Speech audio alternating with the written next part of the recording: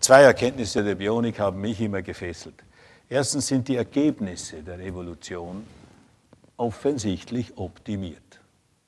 In so vielen Fällen, dass man das ernst nehmen muss. Und zweitens, und das ist das, was, womit Herr Nachtigall geschlossen hat, das ist eben diese, sind diese Forschungen von Rechenberg. Die Frage lautete, auf welchem Wege ist denn die Evolution zu ihren optimierten Ergebnissen gekommen? Könnte es sein, dass nicht nur die Resultate optimiert sind, so wie der Pinguin beispielsweise, sondern könnte es sein, dass auch der Weg, auf dem die Evolution das geschafft hat, ein guter ist zumindest, ein, ein effizienter. Und in der Tat, etwas verkürzt sage ich, die Methode, das ist der Beweis, die zu den Ergebnissen führt, ist ebenfalls optimiert.